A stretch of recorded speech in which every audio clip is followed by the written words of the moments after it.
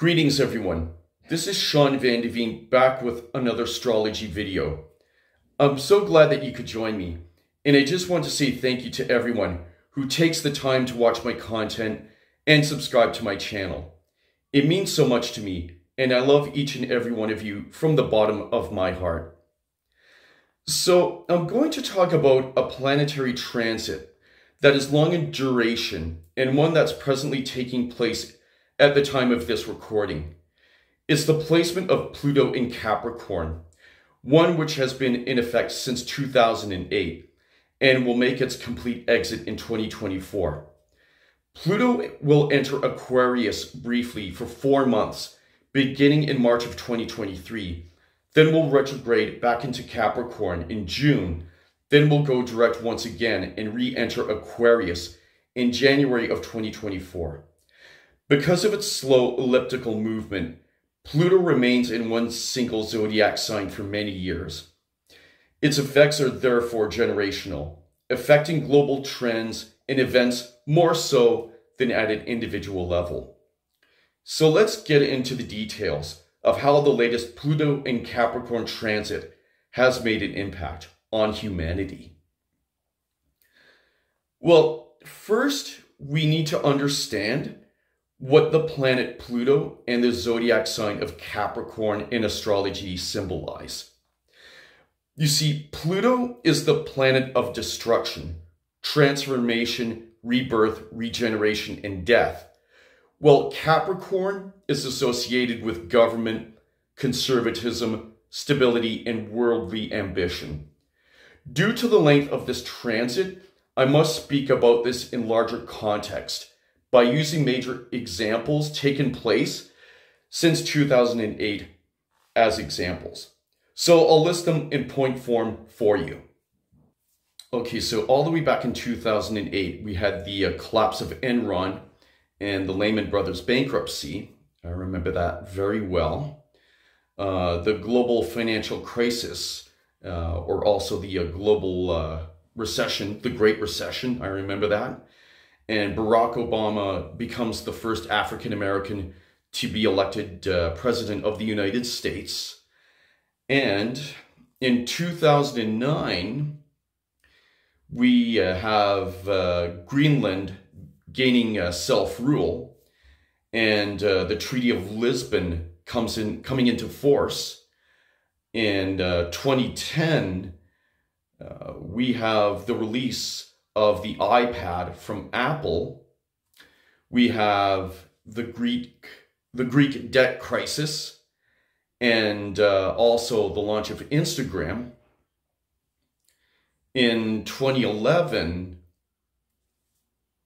we have the independence of South Sudan, the beginning of the Syrian civil war, and uh, the overthrow of Libyan President Muammar Gaddafi.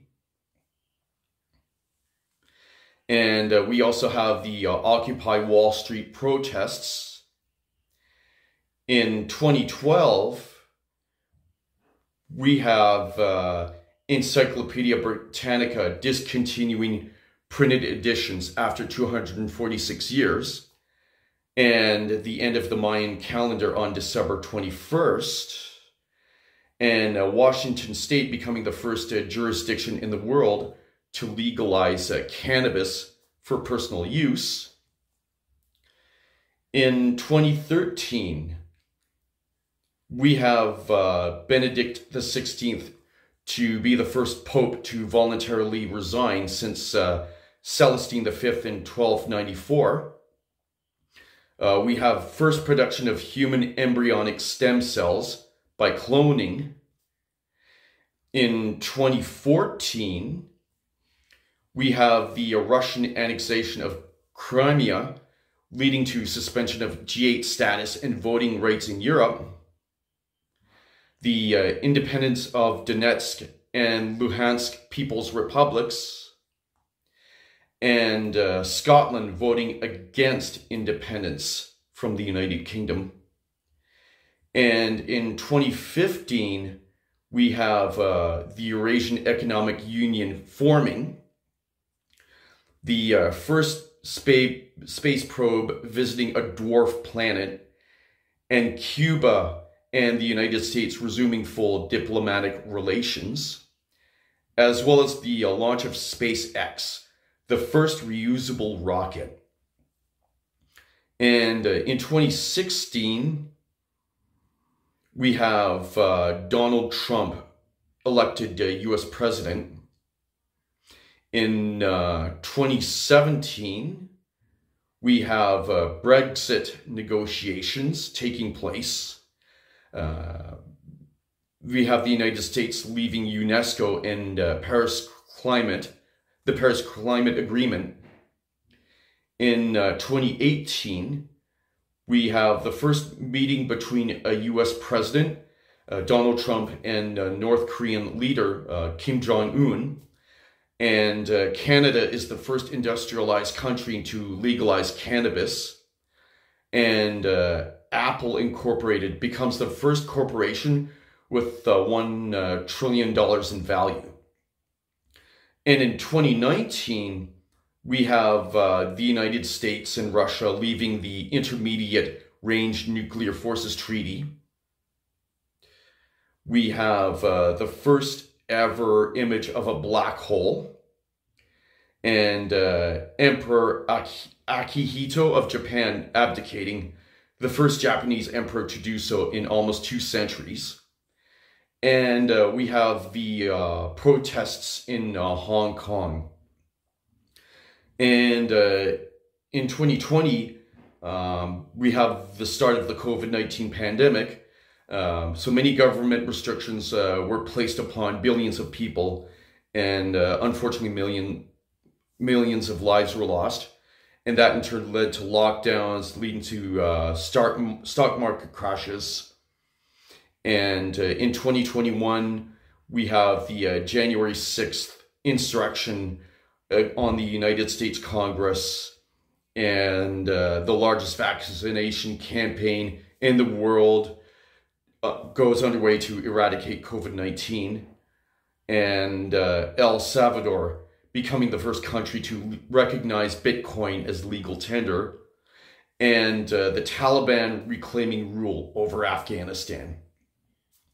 And uh, in 2022, uh, of course, we have uh, Russia invading Ukraine and uh, the death of uh, Her Majesty Queen, Queen Elizabeth II, the longest reigning British monarch who ruled for 70 years, with uh, King Charles III coming to the throne. And yes, all of my tidbits there, my source was en.wikipedia.org. So as you can imagine, a lot of transformations happen while Pluto is in the sign of the goat. Government and the rule of law is thrown into turmoil and more radical political forces attempt to influence the everyday issues of society. We see the rise of the plutocrats, the autocratic strongmen like Donald Trump and Vladimir Putin, challenging the stability of democracy and world order. On an individual level, one born with Pluto in Capricorn is a power seeker with worldly ambition. They are able to initiate powerful change in go government organizations and corporations. They will fight against any opponents oppressing the members within an institution and make the necessary reforms once they've achieved their objectives. The most notable examples on the collective level since 2008, in my opinion, are the Lehman Brothers bankruptcy, which triggered massive layoffs in the corporate world, the January 6, 2021 insurrection of the United States Congress, and in Canada, the Freedom Convoy of protesting truck drivers demanding an end to COVID 19 restrictions. While momentum mounts against governments curtailing civil rights and liberties around the world, more of us will rise up and demand our freedoms back, setting the stage for what will happen while Pluto enters Aquarius. Pluto in Capricorn has undoubtedly ushered in major shakeups to the status quo for the ruling elite. The overall the overthrow of Gaddafi in Libya, the Syrian civil war, and the deep divide dominating contemporary America. National monetary currencies are now competing against cryptocurrencies such as Bitcoin. The great autocratic leaders such as Vladimir Putin, with his invasion of Ukraine, are making their last desperate stand to remain in power. It will not be much longer before humanity re- reaches a new level of awakening and understanding that liberty and freedom will be the central focus. I believe when Pluto, Pluto retrogrades back into Capricorn in June of 2023, more and more government corruption will be revealed thanks to social media, and a course of worldwide freedom will begin to be composed. The last time Pluto was in Capricorn, in the late 18th century, the American Revolution started, a war in which the colonies fought against the tyranny of the British crown. We could maybe see that in Russia and even in some Arab countries where Islamic law reigns supreme. So, this has been my take on Pluto in Capricorn. Be sure to like, comment, and subscribe to my channel. Thanks for watching. Be safe and be kind to one another. And I'll close by saying peace, much love, and namaste. God bless you and be strong. Take care.